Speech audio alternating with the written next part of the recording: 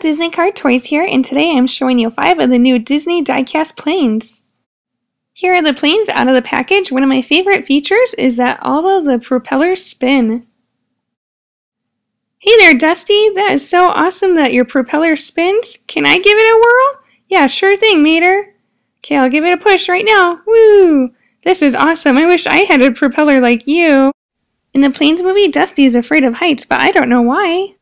Let's watch the diecast Dusty fly. Oh boy, maybe this is why he's afraid of heights. This toy can't even fly. He keeps on crashing. Uh-oh. Even though this diecast Dusty Crophopper airplane can't fly, he's still pretty awesome. On Dusty's side, it says Dusty and the number 7. And on his back wing, it also has a D for Dusty and the number 7. This is the racing version of Dusty Crophopper.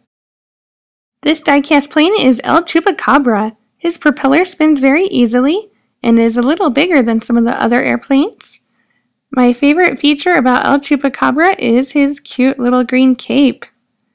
It actually bends very well on this diecast. It's a very, very soft plastic and it can bend up and down.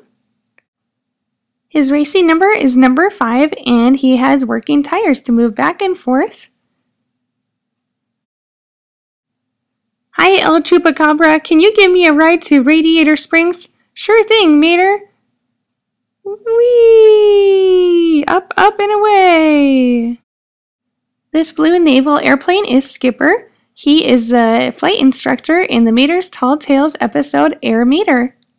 Skipper lives in Prop Wash Junction and will be the instructor in Planes 2 Dusty Crophopper. Hey there, Skipper. Yep, Mater. Can you learn me how to fly? Well, you're a car, so I wouldn't exactly recommend flying for you. Well, let me try anyway. Oh man, you can't fly. This plane is Ripslinger. His propellers split to make four. He is the bad guy in the Planes movie. He's got a really cool paint job though with some flames. And he's green, similar to Chick Hicks in the Cars movie. Ripslinger is also unlucky number 13. This airplane is Leadbottom. He is also a crop duster. His propeller spins, but not as easily as some of the other diecast planes. Uh, one cool thing about him is if you can see on his head, it looks like he's wearing a flying helmet, one of those old leather ones, and he even has goggles on the top. It's a little hard to see, but I think it's a very nice feature. Let me know in the comments section who your favorite plane is and if you've purchased any of these diecast planes yet. Thank you and have a great day.